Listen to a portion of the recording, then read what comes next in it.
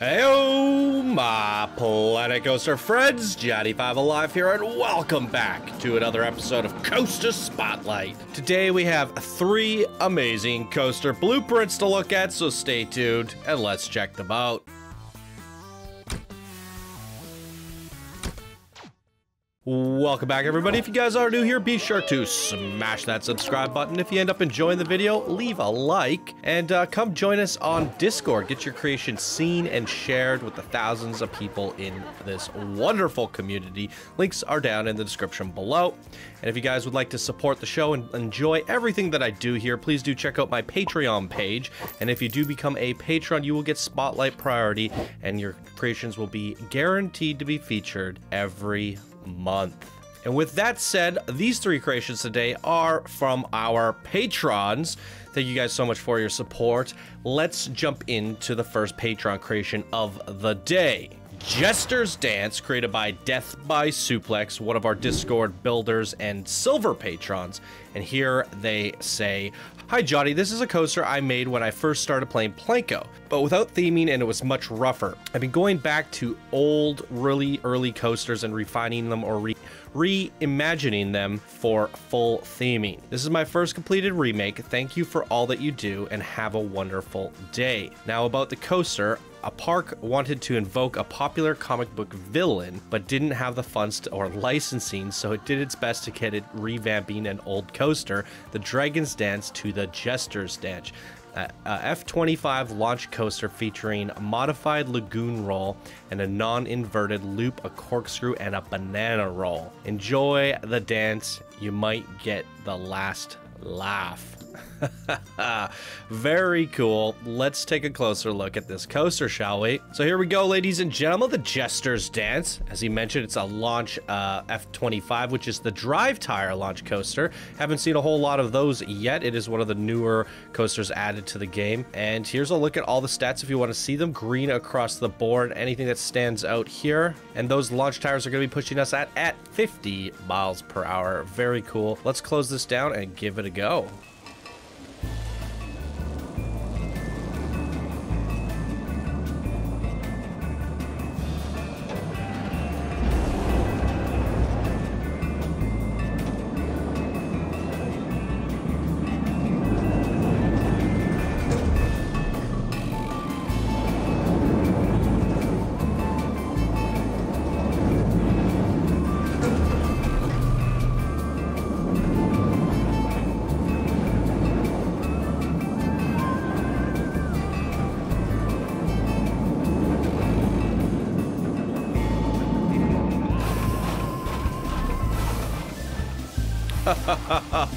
Very fun. I'm really curious to know if the original coaster is on his workshop. I'm not seeing it here. So the original doesn't seem to be opened on the workshop. Would have been nice to do a direct comparison to like the, you said you revamped it and did the theming all complete. And the theming is very fun. I gotta say, I love this music. What is this song called? Uh, it reminds me of SpongeBob SquarePants or something.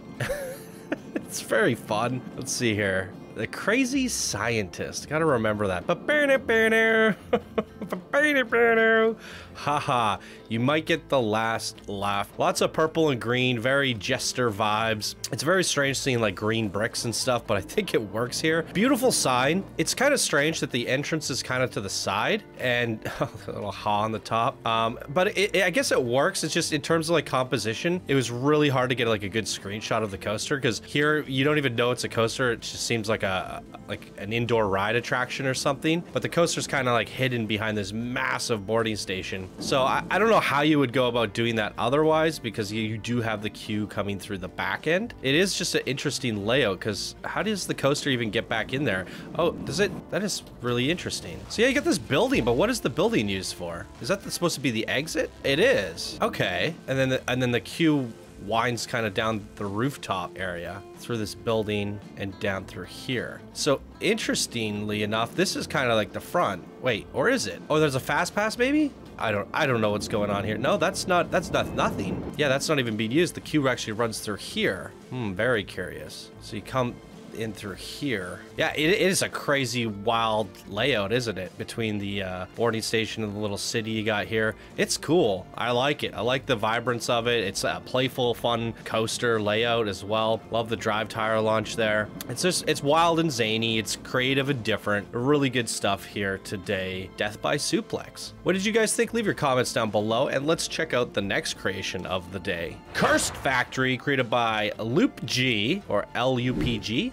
I don't know how you pronounce that. Uh, one of our Discord builders and silver patrons. Thank you so much for your support. And here they say, Hi, Channel 5 community. Hey, Johnny. This is one of my first workshop creations in Planco. A factory was built on an old abandoned graveyard, but this summoned an ancient demon. It's your turn to banish that banish this demon, but don't get banished yourself. Wah wah wah. All right, very cool. Let's take a closer look at it, shall we? So here we go. Today we have a Typhoon Barghest, ladies and gentlemen, green across the board. And here's a look at the rest of the results if you want to see them. And let's give it a go.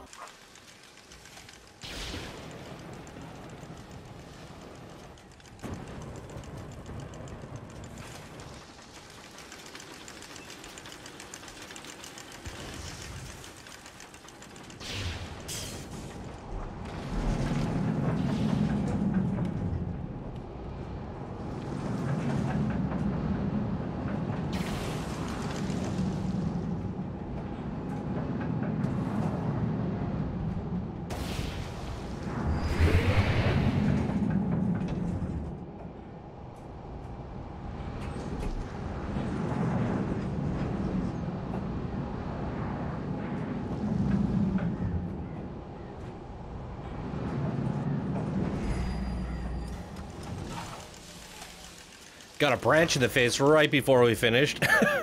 Just a little knock you out so you can go uh, an extra round.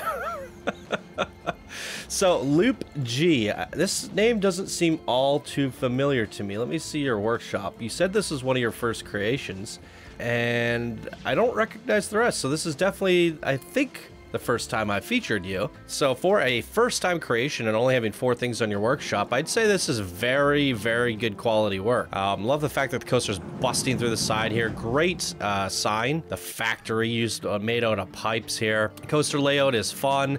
Love the lighting. It's very menacing. It does have that uh, cursed feel. I'm not a big fan of the neon glowing stuff, but because you put it over this toxic waste, it sort of makes sense. But uh, I don't know if that toxic waste is necessary because it's just a cursed place. It's not like a waste facility, is it? Unless I guess that's what they're doing here. That's what the factory's all about. But I think you could have done away with that. If, if anything, I would have probably preferred if this was lava or something just to add to that fiery nature because uh, I mean, if it is a factory, they might be pouring hot metal of sorts, so this could be some you know, melted magma liquid, some hot metal or something. Uh, yeah, so for me, the green toxic stuff doesn't really fit, but that's just my personal preference. You got graveyards everywhere to match with the cursedness. Um, this this is like big banking turn you did right across the wall, curved nicely, banking through there. It, it, it's it's a really nice shape. It's almost creating like a bowl here, and then the coaster wraps all around it through this tower. It looks really cool.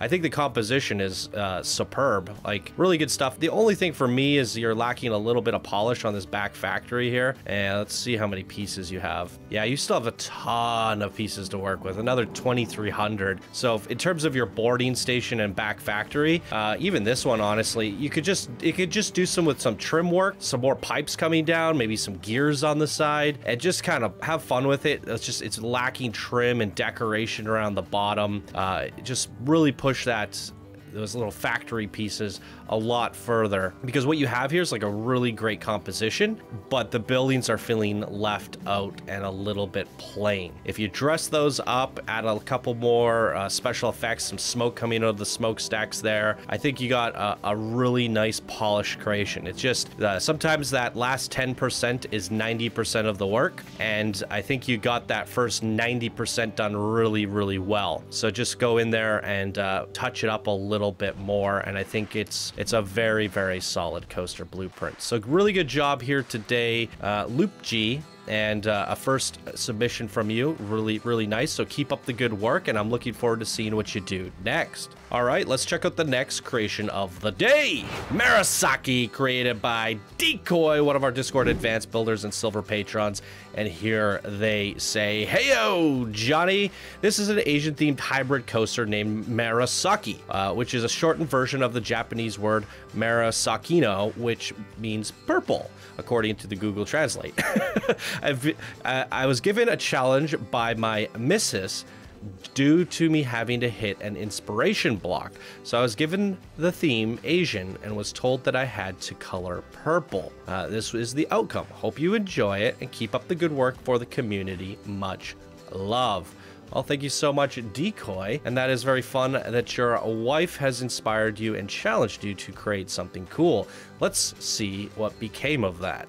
So here we go, ladies and gentlemen. Murasaki. It is a uh, hybrid coaster. Here's a look at all the stats. Almost green across the board. There's a look at everything else if you want to see it. And I love me a good RMC, so let's give this a whirl.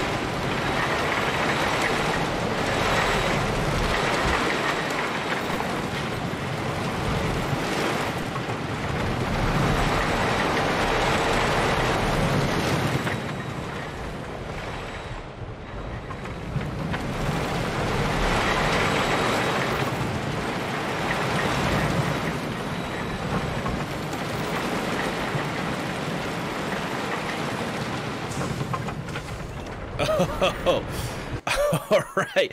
It's a bit rough at times, isn't it? A little bit rough, but I, I love the way the blueprint looks and the way the coaster fits into this uh, temple. Now, I have to say, there's a couple spots that really, really need some work. Uh, as we come down that first, where is it? The first drop brings us back up through here. It's I see that you had like, you're trying to fit the track into your blueprint. So I feel like maybe the blueprint was made first and the track was added in after, or maybe a bit of both and it was wiggled around. But as it's coming up through here, it's just, it's having a hard time fitting and uh, getting through here is just a bit rough. Now, how would you go about fixing that? Well, I, I, I, just say give that track a little bit more breathing room. I would have brought in the track, kept the track low, and then brought it up. Either bring it up under underneath this track, or a more of a vertical, yeah, more straight up and banking inward. You just got to really bend that in. And then uh, just a little bit more banking coming through here. It just needs a little bit more room so it's not so drastic. And same with this one here. I would bring it up and bank it in. And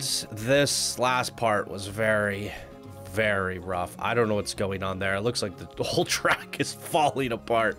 I have never ever seen a wibbly wonky track so messed up.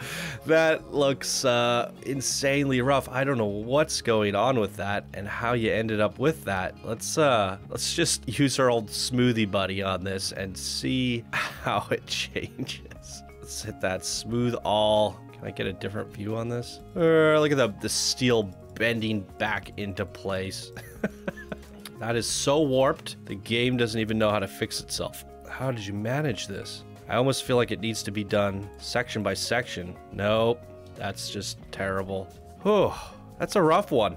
There we go. It's it's still over banking it though. That's the problem. Yeah, that's that's that's tough to fix. However, a little bit of smoothing, it's still it's still very crazy that I would actually just rework that whole section. Seems a little bit uh, rough. Now, let's take a look at the nighttime lighting because I did see a lot of lights around. Yeah, that's looking very nice. Your whole purple theme is very apparent here. This building here doesn't feel very Asian inspired to me. It feels like a cabin that's just been decorated with uh, Asian lights. It feels very different. I would have continued running with the, the temple pieces, just like you have down here. Put that up top. That, that part stands out to me as a little bit strange. But everything else is very nice. I love this little Zen garden you got going on here. It's it's super immersive. I think your theming is spot on, but the coaster just needs a little a little bit of polish. I think the track layout is fine. It just needs work in a lot of the areas. Uh, but the layout going through the whole scenery is uh, very, very nice. Just needs tweaking. But nighttime lighting looks beautiful. I, I love the uh, purple theme going on. Front boarding station looks really nice. The uh, sign, very inviting. It, it's quite a monumental creation. And I think as a blueprint, if you just look at it from a distance, it looks very impressive. So you've done a lot of things right here. I just think that the coaster needs a little bit of love. Um, and that's pretty much all I got to say about this one here today. Uh, what did you guys think? Leave your comments down below, as well as your comments for these other two amazing creators in today's episode. Uh, and once again, thank you guys for your support. All silver patrons here. Uh, really do appreciate it, you guys. Yeah, definitely amazing creations from the three of you guys. So keep up the good work. Look forward to seeing what you guys can do next. So keep on submitting your blueprints, keep on creating, and keep on having fun. And that's going to do it for me here today, ladies and gentlemen. If you guys enjoy, please be sure to smash that like button. If you're new to the channel, subscribe for more daily Planet Coaster videos. And if you'd like to support the show, once again, check out my Patreon page. Links are down in the description below. And if you want to download these blueprints yourself, there's also uh, links to the creators' creations down in the description as well. All right, everyone, thank you so much for watching. I hope you all have a great day, and I will see you in the next video. Bye now.